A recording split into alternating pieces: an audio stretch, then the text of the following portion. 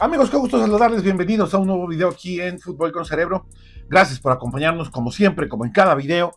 Eh, y por estar también, desde luego, regalándonos un poquito de su atención. Un abrazo muy grande para todos. Gracias por estar con nosotros en este y en todo nuestro contenido. Vamos a hablar, toca turno hablar del partido entre Guadalajara recibiendo la visita de Gallos Blancos de Querétaro este domingo en el Estadio Akron.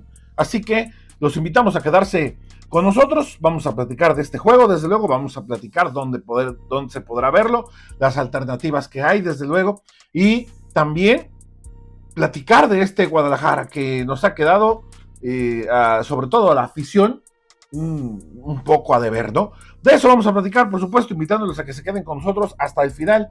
A todos, gracias por sus likes, por sus comentarios, por suscribirse, por activar las notificaciones y por compartir este y todo nuestro contenido.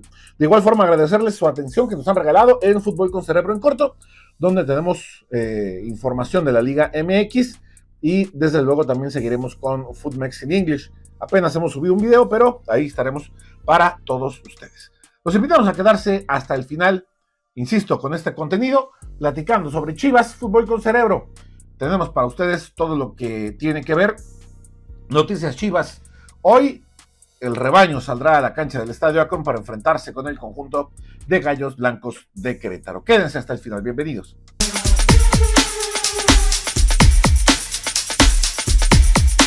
Bueno amigos, esta tarde, 5 de la tarde, Cancha del Estadio Akron, Guadalajara recibiendo la visita de Gallos Blancos de Querétaro. Gallos, un equipo que ha ganado un solo partido en los últimos 20 en que apareció. Eh, da, más la impresión de ser una, una, franquicia ya olvidada por, o no olvidada pues, pero, pero que no puede ser sostenida por sus dueños, ¿no? Ya de por sí eh, tienen bastantes broncas con, con el cuadro de, de, Tijuana, donde también acaban de, de darle las gracias a, un, a uno de sus técnicos, ¿no? Eh, así que, pues no la están pasando nada bien.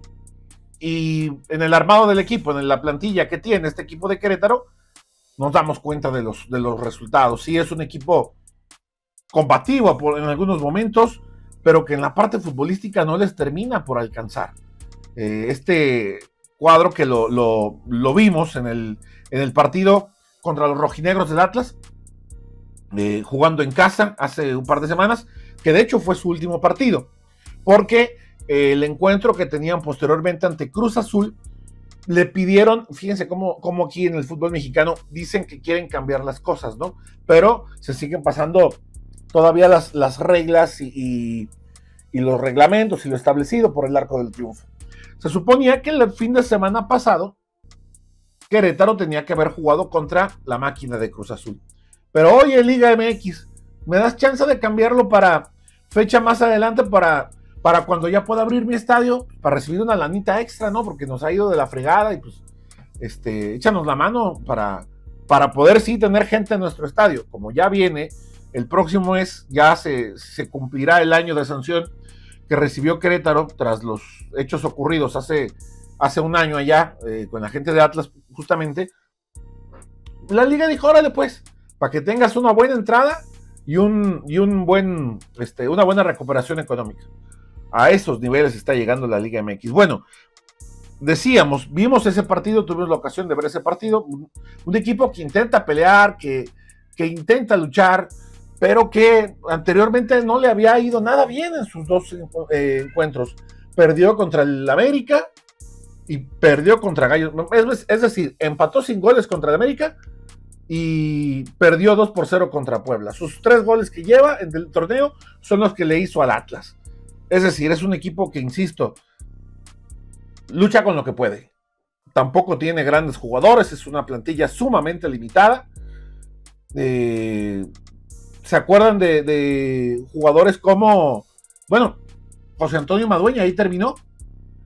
Eh, también ahí terminó este jugador Alberto García. Eh, el, el guamerucito, ¿no?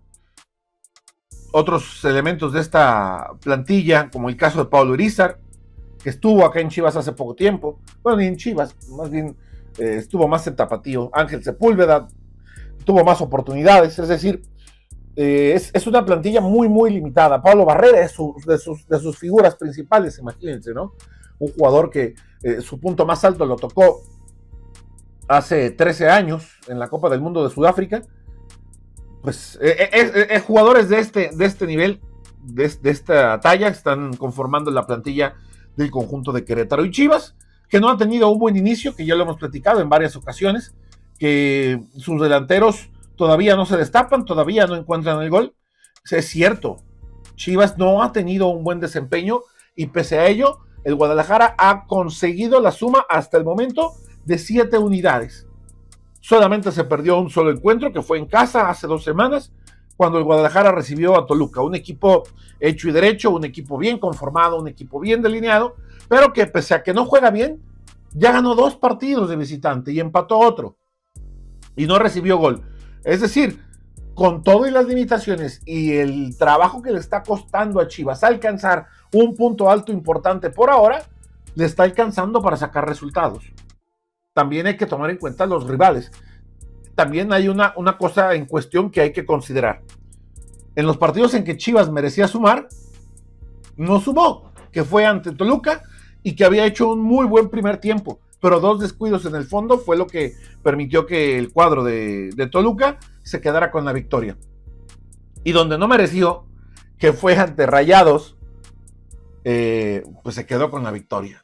Así pasa, son cuestiones del fútbol. Aún así, resultados están llegando. El fútbol todavía no. Y eso le permite tener, creo yo, a Belko Paunovic cierto margen de maniobra para que el equipo pueda trabajar y mejorar. Paunovic, cada que sale a conferencia de prensa, siempre nos habla de proceso, de proceso, de proceso. Eh, él, él, está buscando apegarse a distintas cuestiones y que su equipo funcione, pero bueno, pues evidentemente con tan poco tiempo que ha tenido por ahora para que sus jugadores entiendan total y plenamente la idea, no es tan sencillo. Insisto, por lo menos el equipo está sacando los resultados, aunque no está jugando como muchos de ustedes quisieran. Vamos a ver, hoy es indudable que hay que, eh, cualquier cosa que no sea la victoria, va a ser un mal resultado para Guadalajara. Por supuesto, también veremos las formas y cómo se presentan las condiciones de este partido, qué es lo que viene a intentar hacer Querétaro la tarde de este domingo a la cancha del Estadio Akron. Hoy 5 de la tarde, cancha del Guadalajara, el Estadio Akron, en territorio mexicano. El partido se podrá ver a través de la plataforma aficionados. Ah, se podrá ver a través del canal aficionados, perdón. Este creo que está en Mix Plus. Eh, obvio, está en Easy. Creo que también está en Sky. y en Estados Unidos, el partido se puede ver a través de Telemundo Deportes. Partido 5 de la tarde, tiempo del centro de México. 3 de la tarde, tiempo del Pacífico. Eh, y 6, tiempo del este. Tengo entendido que, acaba de cambiar el horario en, los Estados Unidos. Si es así o no, corríjame. Pero bueno, eh, el partido es a las 5, tiempo del centro, ¿no? Y ya, y ya de ahí nos, empezamos a, a mover.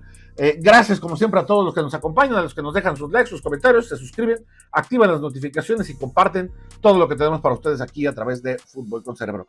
Que sigan pasando un extraordinario fin de semana. Gracias, pásenla chido. Adiós.